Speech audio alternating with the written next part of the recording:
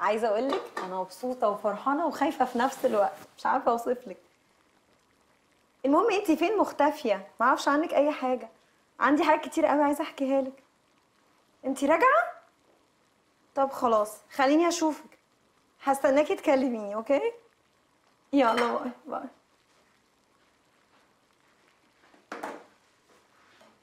إيه ده إيه ده إيه ده؟ ثانية واحدة. حبيبتي انت بتعملي إيه؟ بعمل الغدا. غدا إيه؟